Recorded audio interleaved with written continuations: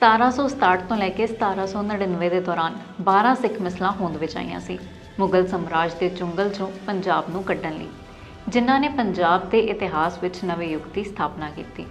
ਇਹਨਾਂ ਮਿਸਲਾਂ ਨੂੰ ਸਿੱਖ ਸੰਤਲਤ ਦਾ ਆਧਾਰ ਮੰਨ ਸਕਦੇ ਹਾਂ ਅਸੀਂ।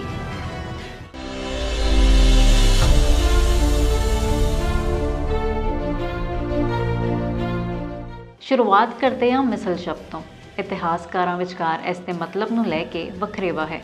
ਕਨਿੰਗਮ ਤੇ ਪ੍ਰਿੰਸਪ ਦਾ ਮੰਨਣਾ ਹੈ ਕਿ ਮਿਸਲ ਅਰਬੀ ਦਾ ਸ਼ਬਦ ਹੈ, ਜਿਸ ਦਾ ਅਰਥ ਹੈ ਇਕੁਅਲ ਜਾਣੇ ਕਿ ਬਰਾਬਰ। ਕਿਉਂਕਿ ਮਿਸਲਾਂ ਦੇ ਸਰਦਾਰ ਇੱਕ ਦੂਸਰੇ ਨਾਲ ਬਰਾਬਰਤਾ ਰੱਖਦੇ ਸੀ। ਇਸ ਲਈ ਇਹਨਾਂ ਜਥਿਆਂ ਨੂੰ ਮਿਸਲਾਂ ਦਾ ਨਾਮ ਦੇ ਦਿੱਤਾ ਗਿਆ। ਪਰ ਭਾਰਤੀ ਇਤਿਹਾਸਕਾਰ ਹਰੀ ਰਾਮ ਗੁਪਤਾ, ਡਾਕਟਰ ਭਗਤ ਸਿੰਘ, ਡਾਕਟਰ ਗੰਡਾ ਸਿੰਘ ਤੇ ਐਸ ਐਸ ਗਾਂਧੀ ਦਾ ਮੰਨਣਾ ਹੈ ਕਿ ਮਿਸਲਾਂ ਦਾ ਅਰਥ ਹੈ ਫਾਈਲ ਸਾਰੀਆਂ ਮਿਸਲਾਂ ਦੇ ਸਰਦਾਰ ਸ਼੍ਰੀ ਅਕਾਲ ਤਖਤ ਸਾਹਿਬ ਵਿਖੇ ਇਕੱਠੇ ਹੁੰਦੇ ਤੇ ਦਲ ਖਾਲਸਾ ਦੇ ਮੁਖੀ ਨੂੰ ਆਪਣੇ ਆਪਣੇ ਖੇਤਰ ਦੀ ਵਿਸਤਾਰ ਵਿੱਚ ਜਾਣਕਾਰੀ ਦਿੰਦੇ, ਜਿਸ ਨੂੰ ਦਲ ਖਾਲਸਾ ਦੇ ਮੁਖੀ ਅਲੱਗ-ਅਲੱਗ ਮਿਸਲਾਂ ਜਾਂ ਕਹਿ ਦਈਏ ਫਾਈਲਸ ਵਿੱਚ ਰੱਖਦੇ ਸੀ। ਇਹਨਾਂ ਨਾਲ ਮਿਸਲਦਾਰਾਂ ਦੇ ਖੇਤਰ ਨੂੰ ਲੈ ਕੇ ਮਸਲੇ ਵੀ ਹੱਲ ਕੀਤੇ ਜਾਂਦੇ ਸੀ। ਬਹੁਤੇ ਇਤਿਹਾਸਕਾਰ ਇਸ ਅਰਥ ਨਾਲ ਸਹਿਮਤ ਵੀ ਨੇ। ਮਿਸਲਾਂ ਦੀ ਸਥਾਪਨਾ ਕਿਸੇ ਨਿਸ਼ਚਿਤ ਸਮੇਂ ਵਿੱਚ ਜਾਂ ਕਿਸੇ ਪਲੈਨਿੰਗ ਨਾਲ ਨਹੀਂ ਸੀ ਹੋਈ। ਸੰਨ 1716 ਵਿੱਚ ਬੰਦਾ ਸਿੰਘ ਬਹਾਦਰ ਦੀ ਸ਼ਹਾਦਤ ਤੋਂ ਬਾਅਦ ਸਿੱਖਾਂ ਉੱਤੇ ਅਤਿਆਚਾਰਾਂ ਦਾ ਕਹਿਰ ਬਰਸਣ ਲੱਗਾ। ਬਚਾਵ ਲਈ ਸਿੱਖਾਂ ਨੂੰ ਜੰਗਲਾਂ ਤੇ ਪਹਾੜਾਂ ਵਿੱਚ ਰਹਿਣਾ ਪੈਂਦਾ ਸੀ। ਫਿਰ ਸਿੱਖਾਂ ਨੇ ਖੁਦ ਨੂੰ ਛੋਟੇ-ਛੋਟੇ ਜਥਿਆਂ ਵਿੱਚ ਵੰਡ ਲਿਆ। ਮੌਕਾ ਮਿਲਦੇ ਹੀ ਇਹ ਜਥੇ ਮੁਗਲ ਸੈਨਾ ਤੇ ਹਮਲਾ ਕਰਦੇ ਤੇ ਸਰਕਾਰੀ ਖਜ਼ਾਨਾ ਲੁੱਟ ਲੈਂਦੇ। 1734 ਵਿੱਚ ਸਿੱਖਾਂ ਦੀ ਤਾਕਤ ਨੂੰ ਇਕੱਤਰਿਤ ਕਰਨ ਦੇ ਮਕਸਦ ਨਾਲ ਨਵਾਬ ਕਪੂਰ ਸਿੰਘ ਨੇ ਜਥਿਆਂ ਨੂੰ ਦੋ ਗੁੱਟਾਂ ਵਿੱਚ ਵੰਡਿਆ, ਬੁੱਢਾ ਦਲ ਤੇ ਤਰਨਾ ਦਲ। ਬੁੱਢਾ ਦਲ ਵਿੱਚ 40 ਸਾਲ ਤੋਂ ਉੱਪਰ ਦੇ ਸਿੱਖ ਸ਼ਾਮਿਲ ਸਨ। ਤੇ ਤਰਨਾ ਦਲ ਵਿੱਚ ਨੌਜਵਾਨ ਸਿੱਖ ਤਰਨਾ ਦਲ ਨੂੰ ਅੱਗੋਂ ਵੀ ਪੰਜ ਜਥਿਆਂ ਵਿੱਚ ਵੰਡਿਆ ਗਿਆ ਸੀ। ਸੰਨ 1745 ਵਿੱਚ ਜ਼ਕਰੀਆ ਖਾਨ ਦੀ ਮੌਤ ਤੋਂ ਬਾਅਦ ਸਿੱਖਾਂ ਨੇ 25 ਜਥੇ ਬਣਾਏ। ਹਰ ਜਥੇ ਵਿੱਚ 100 ਸਿੱਖ ਸਨ। ਹੌਲੀ-ਹੌਲੀ ਜਥਿਆਂ ਦੀ ਗਿਣਤੀ 65 ਹੋਣ ਲੱਗੀ। ਨਵਾਬ ਕਪੂਰ ਸਿੰਘ ਨੂੰ ਮਹਿਸੂਸ ਹੋਣ ਲੱਗਾ ਕਿ ਹੁਣ ਮੁਗਲਾਂ ਦਾ ਸਾਹਮਣਾ ਕਰਨ ਲਈ ਸਿੱਖਾਂ ਨੂੰ ਵੱਡੇ ਪੱਧਰ ਤੇ ਇਕਸੁਰ ਹੋਣ ਦੀ ਜ਼ਰੂਰਤ ਆਨ ਪਈ ਹੈ। ਅਹਿਮਦ ਸ਼ਾਹ ਅਬਦਾਲੀ ਵੀ ਹਮਲਾ ਕਰਨ ਵਾਲਾ ਸੀ। ਐਸੇ ਦੇ ਸਿੱਟੇ ਵਜੋਂ ਵਿਸਾਖੀ ਵਾਲੇ ਦਿਨ ਸਨ 1748 ਵਿੱਚ ਅੰਮ੍ਰਿਤਸਰ ਵਿਖੇ ਦਲ ਖਾਲਸਾ ਦੀ ਸਥਾਪਨਾ ਕੀਤੀ ਗਈ। ਇਸ ਦੇ ਅੰਤਰਗਤ 12 ਜਥੇ ਬਣਾਏ ਗਏ। ਹਰ ਜਥੇ ਦਾ ਆਪਣਾ ਆਗੂ ਤੇ ਬੈਨਰ ਸੀ। ਇਹਨਾਂ ਜਥਿਆਂ ਨੂੰ ਹੀ ਮਿਸਲਾ ਕਿਹਾ ਜਾਣ ਲੱਗਾ। ਇਹਨਾਂ ਮਿਸਲਾਂ ਨੇ ਸਨ 1767 ਤੋਂ ਲੈ ਕੇ 1799 ਤੱਕ ਪੰਜਾਬ ਦੇ ਅਲੱਗ-ਅਲੱਗ ਹਿੱਸਿਆਂ ਤੇ ਰਾਜ ਕੀਤਾ। ਹੁਣ ਵਿਸਥਾਰ ਨਾਲ ਮਿਸਲਾਂ ਸੰਬੰਧੀ ਜਾਣਦੇ ਹਾਂ। ਸ਼ੁਰੂਆਤ ਕਰਦੇ ਹਾਂ ਭੰਗੀ ਮਿਸਲ ਤੋਂ। ਮਹਾਰਾਜਾ ਰਣਜੀਤ ਸਿੰਘ ਦੀ ਤਾਕਤ ਵਧਣ ਤੋਂ ਪਹਿਲਾਂ ਪੰਗੀ ਮਿਸਲ ਸਭ ਤੋਂ ਸ਼ਕਤੀਸ਼ਾਲੀ ਮੰਨੀ ਜਾਂਦੀ ਸੀ। ਇਸ ਮਿਸਲ ਦਾ ਸੰਸਥਾਪਕ ਇੱਕ ਜੱਟ ਸੀ, ਜਿਸ ਦਾ ਨਾਂ ਸੀ ਝੱਜਾ ਸਿੰਘ, ਜੋ ਕਿ ਭੰਗ ਦਾ ਆਦੀ ਸੀ। ਇਸ ਕਾਰਨ ਇਸ ਮਿਸਲ ਦਾ ਨਾਮ ਵੀ ਭੰਗੀ ਮਿਸਲ ਪੈ ਗਿਆ। ਪੰਜਾਬ ਦੇ ਸਭ ਤੋਂ ਮਹੱਤਵਪੂਰਨ ਸ਼ਹਿਰ ਅੰਮ੍ਰਿਤਸਰ ਤੇ ਲਾਹੌਰ ਵੀ ਇਸ ਦੇ ਅਧਿਕਾਰ ਵਿੱਚ ਹੀ ਸਨ। ਇਸ ਤੋਂ ਬਿਨਾ ਗੁਜਰਾਤ ਤੇ ਸਿਆਲਕੋਟ ਵੀ ਇਸ ਦੇ ਹੇਠ ਆਉਂਦੇ ਸੀ।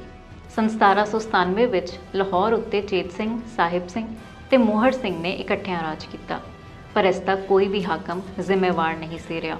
ਉਹ ਅਯਾਸ਼ੀ ਵਿੱਚ ਜ਼ਿਆਦਾ ਸਮਾਂ ਬਿਤਾਉਣ ਲੱਗੇ ਤੇ ਹੌਲੀ-ਹੌਲੀ ਇਸ ਮਿਸਲ ਦੀ ਤਾਕਤ ਘਟਦੀ ਗਈ ਤੇ ਆਪਣੇ ਅੰਤ ਵੱਲ ਵਧਣ ਲੱਗੀ। ਆਲੂਵਾਲੀਆ ਮਿਸਲ ਬਾਰੇ ਗੱਲ ਕਰੀਏ ਤਾਂ ਜੱਸਾ ਸਿੰਘ ਆਲੂਵਾਲੀਆ ਆਲੂਵਾਲੀਆ ਮਿਸਲ ਦੇ ਬਾਨੀ ਸਨ। ਉਹ ਮਹਾਨ ਯੋਧੇ ਤੇ ਇੱਕ ਬਹਾਦਰ ਜਰਨੈਲ ਵੀ ਸਨ। ਆਪਣੀ ਹਕੂਮਤ ਦੌਰਾਨ ਇਹਨਾਂ ਜਲੰਧਰ ਦੁਆਬ ਤੇ ਬਰੀ ਦੁਆਬ ਵਿਚਲੇ ਇਲਾਕੇ ਨੂੰ ਵੀ ਸਰ ਕਰ ਲਿਆ। ਜੱਸਾ ਸਿੰਘ ਆਲੂਵਾਲੀਆ ਨਿਡਰਤਾ ਦੀ ਮਿਸਾਲ ਸਨ। 1739 ਵਿੱਚ ਜਦੋਂ ਨਾਦਰ ਸ਼ਾਹ ਭਾਰਤ ਲੁੱਟ ਕੇ ਆਪਣੀ ਸੈਨਾ ਨਾਲ ਮੁੜ ਵਾਪਸ ਜਾ ਰਿਹਾ ਸੀ, ਤਾਂ ਜੱਸਾ ਸਿੰਘ ਆਲੂਵਾਲੀਆ ਨੇ ਉਸ ਦੀ ਸੈਨਾ ਤੇ ਹਮਲਾ ਕਰਕੇ ਉਸ ਦਾ ਲੁੱਟਿਆ ਸਮਾਨ ਵੀ ਆਪਣੇ ਇਖਤਿਆਰ ਵਿੱਚ ਲੈ ਲਿਆ ਤੇ ਜਿੰਨਾ ਕੁੜੀਆਂ ਨੂੰ ਗਜ਼ਨੀ ਦੇ ਬਾਜ਼ਾਰਾਂ ਵਿੱਚ ਵੇਚਣ ਲਈ ਅਗਵਾ ਕੀਤਾ ਗਿਆ ਸੀ, ਉਹਨਾਂ ਨੂੰ ਵੀ ਸੁਰੱਖਿਅਤ ਆਜ਼ਾਦ ਕਰਵਾ ਦਿੱਤਾ। ਇਹੀ ਨਹੀਂ, ਉਹਨਾਂ ਅਹਿਮਦ ਸ਼ਾਹ ਅਬਦਾਲੀ ਦੀਆਂ ਫੌਜਾਂ ਨੂੰ ਵੀ ਕਈ ਵਾਰੀ ਹਰਾਇਆ ਸੀ। ਐਸੇ ਕਰਕੇ ਪੰਜਾਬ ਦੇ ਸਿੱਖਾਂ ਵਿੱਚ ਉਹਨਾਂ ਦਾ ਬੜਾ ਸਤਿਕਾਰ ਸੀ। ਕਹਿੰਦੇ ਨੇ ਕਿ ਮਹਾਰਾਜਾ ਰਣਜੀਤ ਸਿੰਘ ਦੀ ਖੁਸ਼ਕਿਸਮਤੀ ਸੀ ਕਿ ਇਹ ਯੋਧਾ 1783 ਵਿੱਚ ਦੁਨੀਆ ਨੂੰ ਅਲਵਿਦਾ ਕਹਿ ਗਿਆ। ਇਸ ਉਪਰੰਤ ਮਿਸਲ ਦੀ ਕਮਾਨ ਭਾਗ ਸਿੰਘ ਦੇ ਹੱਥ ਆਈ, ਪਰ ਉਹ ਜੱਸਾ ਸਿੰਘ ਆਲੂਵਾਲੀਆ ਜਿੰਨੇ ਕਾਬਿਲ ਨਹੀਂ ਸਨ। ਇਸ ਲਈ ਮਿਸਲ ਕਮਜ਼ੋਰ ਹੋ ਗਈ। ਹੁਣ ਆਉਂਦੇ ਹਾਂ ਕਨਈਆ ਮਿਸਲ ਤੇ। ਕਨਈਆ ਮਿਸਲ ਦੇ ਸੰਸਥਾਪਕ ਸਨ ਜੈ ਸਿੰਘ ਕਨਈਆ ਇਹਨਾਂ ਕੋਲ ਮੁਕੇਰੀਆਂ, ਗੁਰਦਾਸਪੁਰ ਤੇ ਪਠਾਨਕੋਟ ਦਾ ਖੇਤਰ ਸੀ। ਜੈ ਸਿੰਘ ਕਨਈਆ ਬੜੇ ਬਹਾਦਰ ਸਨ। 1786 ਵਿੱਚ ਉਹ ਅਕਾਲ ਚਲਾਣਾ ਕਰ ਗਏ ਤੇ ਮਿਸਲ ਦੀ ਜ਼ਿੰਮੇਵਾਰੀ ਇਹਨਾਂ ਦੇ ਪੁੱਤਰ ਗੁਰਬਖਸ਼ ਸਿੰਘ ਤੇ ਆ ਗਈ। ਇਤਿਹਾਸ ਦਾ ਰੋਚਕ ਮੋੜ ਆਇਆ ਜਦੋਂ 1796 ਵਿੱਚ ਰਣਜੀਤ ਸਿੰਘ ਦਾ ਵਿਆਹ ਗੁਰਬਖਸ਼ ਸਿੰਘ ਦੀ ਪੁੱਤਰੀ ਮਹਿਤਾਬ ਕੌਰ ਨਾਲ ਹੋਇਆ। ਇਹ ਵਿਆਹ ਮਹਾਰਾਜਾ ਰਣਜੀਤ ਸਿੰਘ ਦੇ ਰਾਜਨੀਤਿਕ ਸਫ਼ਰ ਦਾ ਜ਼ਰੂਰੀ ਪੜਾਅ ਸਾਬਤ ਹੋਇਆ। ਫਿਰ ਗੁਰਬਖਸ਼ ਸਿੰਘ ਦੀ ਮੌਤ ਤੋਂ ਬਾਅਦ ਮਿਸਲ ਦੀ ਕਮਾਨ ਉਹਨਾਂ ਦੀ ਵਿਧਵਾ ਪਤਨੀ ਸਦਾ ਕੌਰ ਹੱਥ ਆਈ। ਸਦਾ ਕੌਰ ਵੀ ਸਾਰੇ ਪੰਜਾਬ ਨੂੰ ਆਪਣੇ ਹੱਥ ਵਿੱਚ ਕਰਨਾ ਚਾਹੁੰਦੇ ਸਨ। ਇਸ ਲਈ ਉਹਨਾਂ ਨੇ ਬਹੁਤ ਯਤਨ ਵੀ ਕੀਤੇ, ਪਰ ਅਖੀਰ ਵਿੱਚ ਉਹਨਾਂ ਦੀ ਹਾਰ ਹੀ ਹੋਈ। ਜਾਣਦੇ ਹਾਂ ਸ਼ੁਕਰ ਚੱਕਿਆ ਮਿਸਲ ਬਾਰੇ। ਇਸ ਮਿਸਲ ਦੇ ਬਾਨੀ ਸਨ ਮਹਾਰਾਜਾ ਰਣਜੀਤ ਸਿੰਘ ਦੇ ਦਾਦਾ ਜੀ ਚੜਤ ਸਿੰਘ। ਇਹਨਾਂ ਦੇ ਅਖਤਿਆਰ ਵਿੱਚ ਸੀ ਗੁਜਰਾਵਾਲਾ, ਇਮੀਨਾਬਾਦ ਤੇ ਸਿਆਲਕੋਟ। 1774 ਵਿੱਚ ਚੜਤ ਸਿੰਘ ਦੀ ਮੌਤ ਹੋ ਗਈ ਤੇ ਉਸ ਤੋਂ ਬਾਅਦ ਮਿਸਲ ਦੇ ਸਰਦਾਰ ਬਣੇ ਉਹਨਾਂ ਦੇ ਪੁੱਤਰ ਮਹਾ ਸਿੰਘ। ਇੱਕ ਚੰਗੇ ਸਰਦਾਰ ਦੇ ਸਾਰੇ ਗੁਣ ਸਨ ਉਹਨਾਂ ਦੇ ਵਿੱਚ। ਉਹਨਾਂ ਰਸੂਲ ਨਗਰ ਤੇ ਅਲੀਪੁਰ ਨੂੰ ਜਿੱਤ ਕੇ ਮਿਸਲ ਨੂੰ ਫਿਰ ਤੋਂ ਮਜ਼ਬੂਤ ਕਰ ਦਿੱਤਾ। ਸਨ 1792 ਵਿੱਚ ਮਹਾ ਸਿੰਘ ਦੀ ਵੀ ਮੌਤ ਹੋ ਗਈ ਤੇ ਉਹਨਾਂ ਦੇ ਉੱਤਰਾਧਿਕਾਰੀ ਬਣੇ ਰਣਜੀਤ ਸਿੰਘ।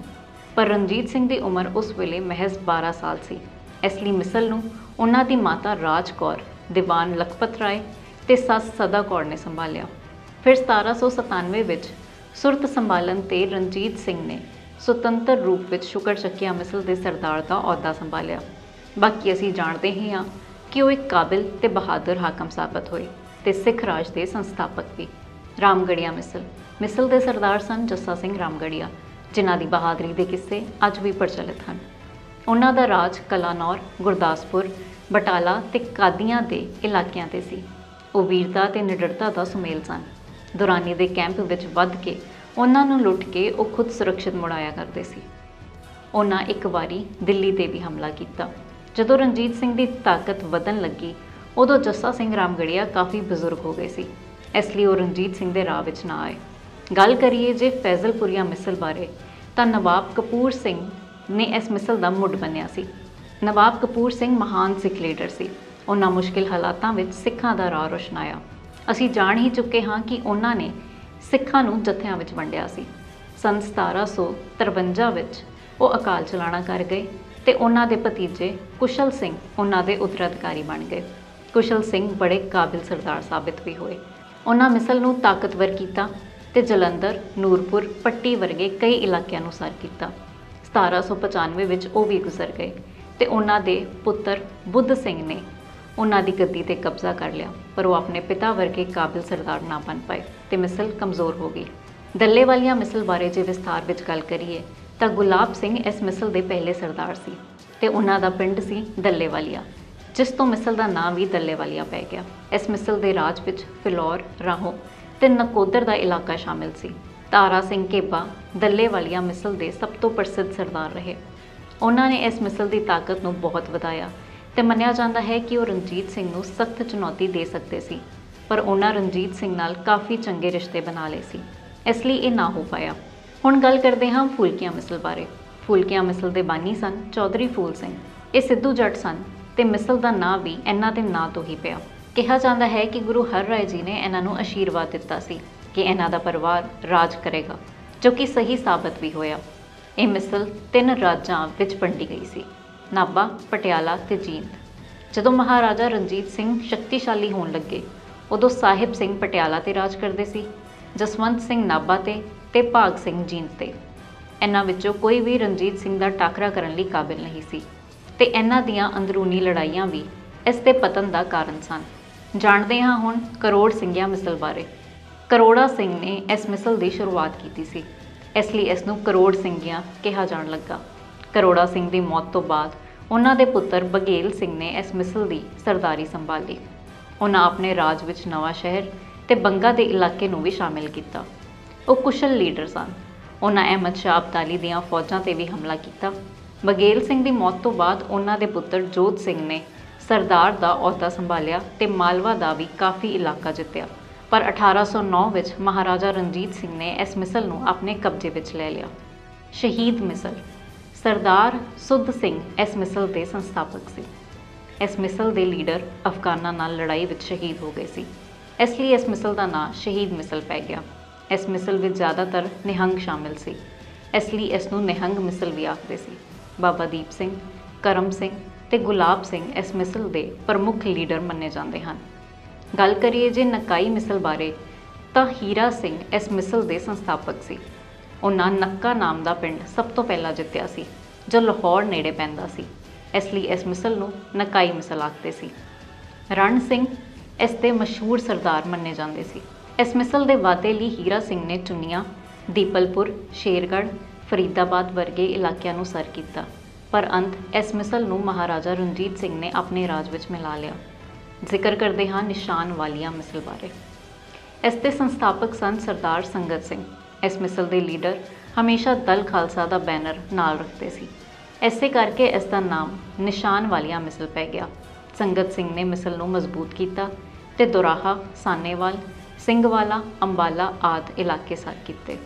ਸਿੰਘਵਾਲਾ ਨੂੰ ਉਹਨਾਂ ਨੇ ਆਪਣੀ ਰਾਜਧਾਨੀ ਬਣਾਈ। ਸੰਗਤ ਸਿੰਘ ਤੋਂ ਬਾਅਦ ਮਿਸਲ ਦੇ ਸਰਦਾਰ ਬਣੇ ਇਹਨਾਂ ਦੇ ਪੁੱਤਰ ਮਹਾ ਸਿੰਘ। ਅੰਗਰੇਜ਼ਾਂ ਨੇ ਅੰਬਾਲਾ ਤੇ ਕਰਨਾਲ ਉੱਤੇ 1809 ਵਿੱਚ ਕਬਜ਼ਾ ਕਰ ਲਿਆ। ਤੇ ਬਾਕੀ ਮਿਸਲ ਤੇ 1830 ਤੱਕ ਕਬਜ਼ਾ ਕਰ ਲਿਆ। ਮਹਾਰਾਜਾ ਰਣਜੀਤ ਸਿੰਘ ਜਦੋਂ ਮਿਸਲਾਂ ਸਰ ਕਰ ਰਹੇ ਸੀ, ਤਾਂ ਜਾਂ ਤੇ ਮਿਸਲਾਂ ਦੇ ਸਰਦਾਰ ਕਾਬਿਲ ਨਹੀਂ ਸੀ ਬਚੇ, ਜਾਂ ਉਹਨਾਂ ਦੀ ਮੌਤ ਹੋ ਗਈ ਸੀ। ਇਸ ਲਈ ਸਿੱਖ ਸਲਤਨਤ ਦੀ ਸਥਾਪਨਾ ਦਾ ਰਾਹ ਪੱਧਰਾ ਹੋਇਆ ਤੇ ਮਹਾਰਾਜਾ ਰਣਜੀਤ ਸਿੰਘ ਨੇ ਸਾਰੀਆਂ ਮਿਸਲਾਂ ਤੇ ਆਪਣੀ ਕੁਸ਼ਲਤਾ ਨਾਲ ਕਬਜ਼ਾ ਕਰ ਤਾਕਤਵਰ ਸਿੱਖ ਰਾਜ ਕਾਇਮ ਕੀਤਾ।